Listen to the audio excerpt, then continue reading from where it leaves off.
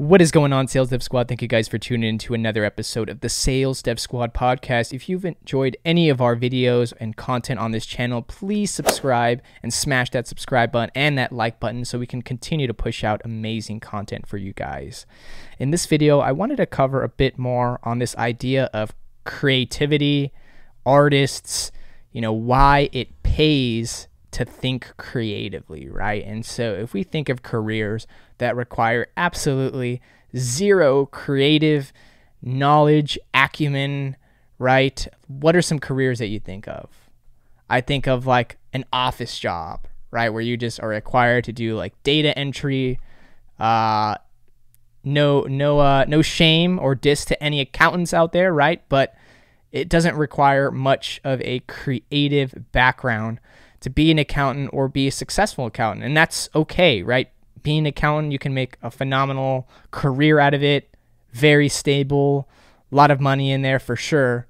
But to be honest, at least for me, you couldn't pay me $500,000 to sit in a cubicle for eight hours a day, five days a week. That's just, that doesn't align with my values. And again, no shame to any accountants out there, but that's just my thoughts on that there. And so if we think of like being creative like what does that mean right? In in my beliefs and opinion it, it just means to think out of the box right? And and basically being creative means that you have a unique vision a unique creative story you have unique creative ideas whether that be a like a like a script right? A movie story whether that be like a piece of art or you know, a drawing, a sketch, a painting, or whether you're like a local bakery, right? And you love creating these uh, amazing designs and delicious tasting, colorful cakes, right? I feel like all of these positions and all of these products require some sense of creativity.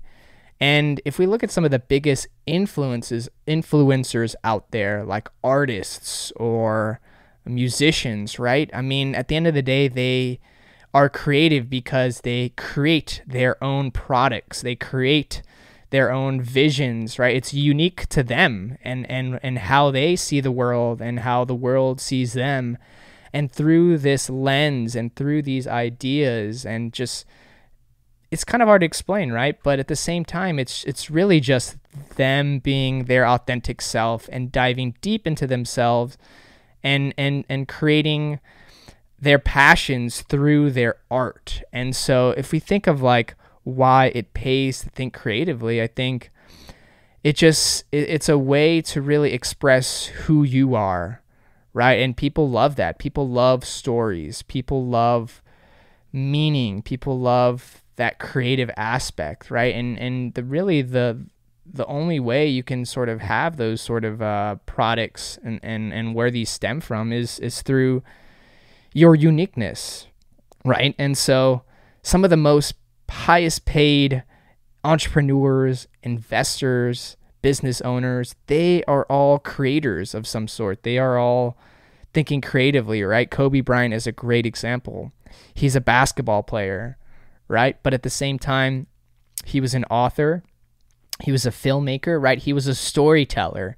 And he told his life experiences and his journey through the stories, through his creative lens, whether that be through literature, through movies, right? Uh, he literally got paid to think creatively. But why? Why are we so attracted to that creative lens? And the bottom line is, we as humans, we we crave that authenticity we crave that story, that fictional sci fi movie, right? I'm a huge Back to the Future nerd, and I love it because it just puts me into this world that is outside of my world, and it's this perfect as can be land, and, and it, you're just sucked into the story, right? That That's creativity. That's creating something out of nothing, using your imagination, using your unique experiences and blending it all together and and that's your form of art.